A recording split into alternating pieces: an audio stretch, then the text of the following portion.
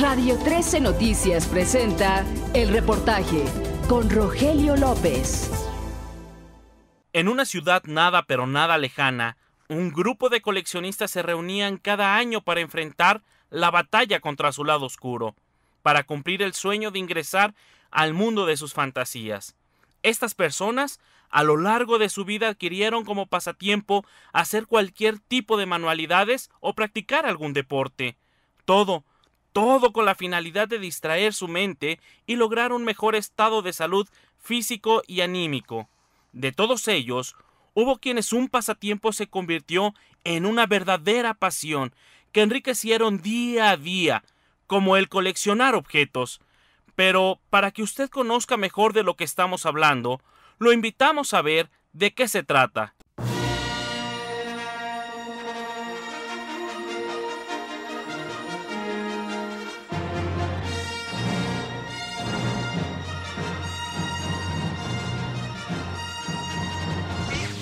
Nos encontramos en las afueras del World Trade Center, donde vamos a tener un encuentro con aquellos cómics, con aquellos personajes que has vivido y que has querido seguir viviendo junto con ellos. Vamos a verlo. ¿Qué tal? Te invito. Hombres, mujeres, adultos, jóvenes y niños visitan esta expo que se ha realizado año tras año en el país. En varias partes del mundo también se llevan a cabo este tipo de expos de la Guerra de las Galaxias.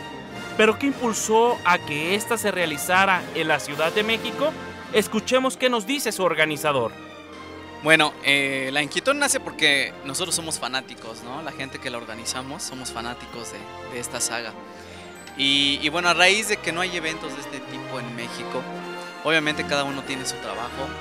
Y, y de ahí surgió la idea, oye, ¿por qué no hacemos un evento, ¿no? De algo que nos gusta pues va, empezamos a, armar el proyecto y pues mira, míranos, ¿no? Ya estamos aquí con la tercera, ¿no? Tres años consecutivos haciendo este tipo de eventos.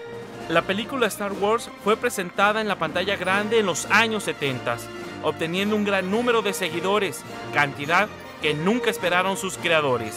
Hasta este momento, miles de personas han llenado las salas de cines para ver y disfrutar cada uno de los seis episodios llenos de acción y efectos especiales.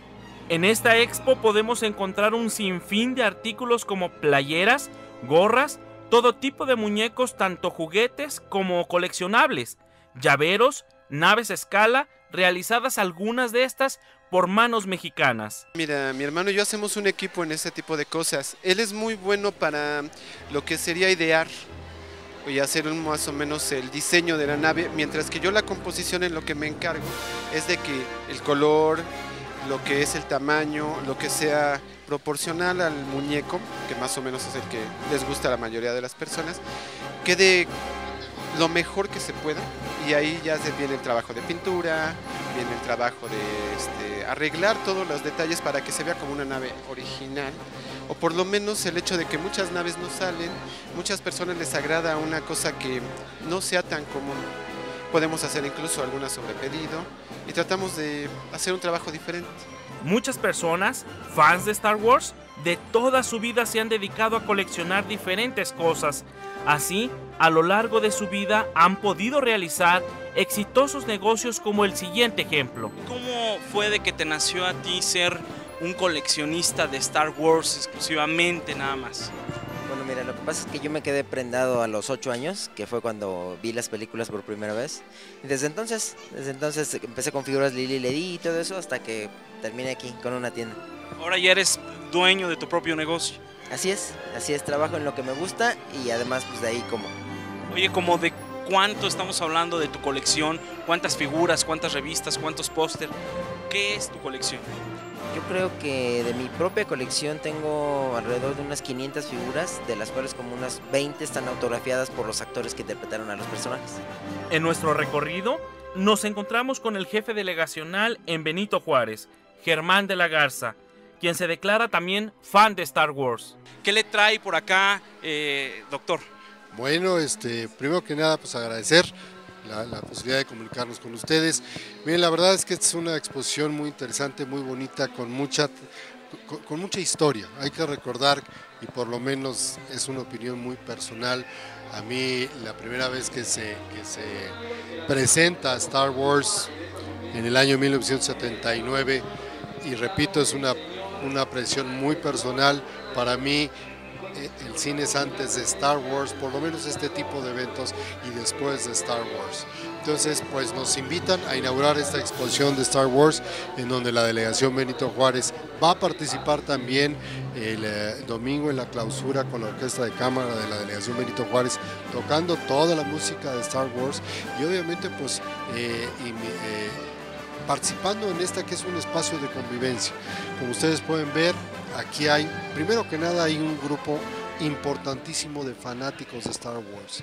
Hay toda una tradición, toda una cultura, los precios de todas las cuestiones que están aquí comercializando, pues son muy accesibles, no lo podemos negar, es algo que está en muchos de los grandes coleccionistas y pues nosotros muy honrados de estar participando con ellos, además acompañados aquí de los chicos malos que ahora nos van a cuidar.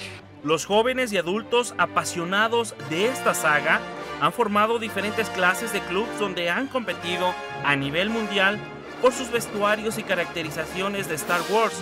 Incluso algunos utilizan estos para dar alegría a niños enfermos. Si nosotros somos un costuming group o grupo de caracterización reconocido por George Lucas a nivel internacional como los rebeldes de la saga, y nosotros nos dedicamos a hacer visitas a hospitales, orfanatos, clínicas, casas, hogares, visitando a los niños y llevando con nuestra afición la magia de Star Wars a sus corazones.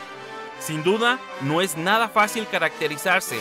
Veamos lo difícil que es traer este tipo de trajes. Carlos, ¿cuánto tiempo te lleva el ponerte este disfraz? Eh, aproximadamente una media hora, 40 minutos. Y me imagino que hace mucho calor. Sí, hace bastante. Me decías que cuántos kilos bajaste la vez pasada en la antigua expo. Entre 3 y tres y medio. O sea que completamente es para profesionales. Pues no es tanto así, pero es amor al arte.